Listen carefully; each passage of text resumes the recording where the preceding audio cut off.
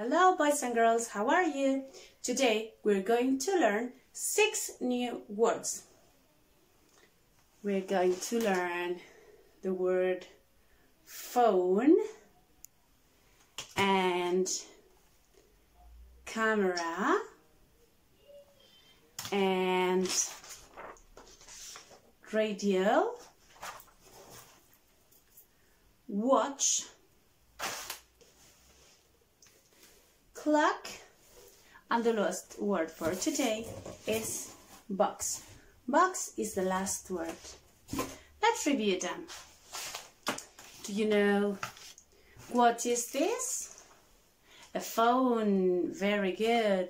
And what's this? A camera. Very good. And this is a watch. Great and we listen to the radio. Very good. We know the time looking at the clock. Very good.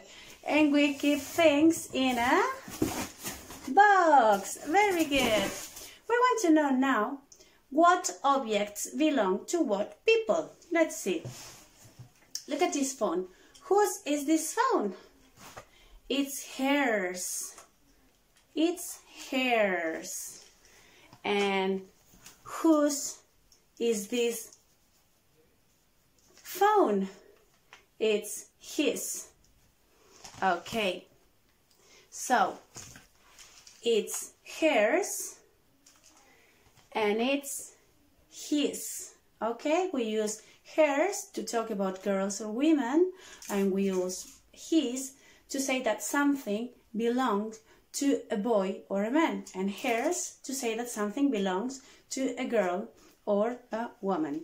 And whose is this watch? It's mine. Very good. It's belonged to me. It's mine. And whose is this book?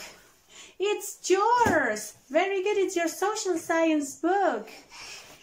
Yours means that it belongs to you. Let's see more examples.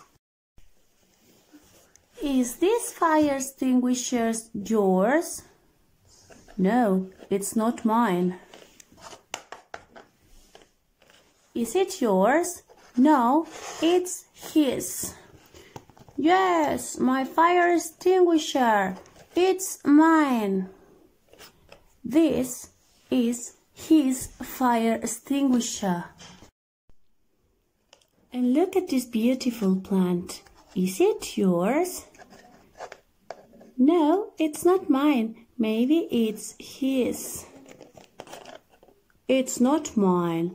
I think this plant is hers.